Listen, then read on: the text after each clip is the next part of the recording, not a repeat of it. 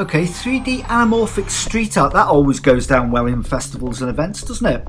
Good promotional tool. Yeah. And uh, this particular piece um, was uh, Printworks, Iron Man. Iron Man, uh, Marvel Comics promotion. Hmm. Uh, two days, um, but usually our works take us between two to four days Yeah. to complete, depending on complexity.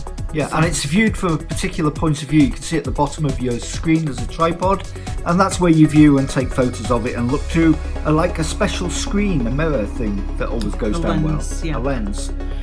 And it looks great. This was done in a combination of pastels and uh, poster paints um, and can be done in a socially distanced way and it's safe to do.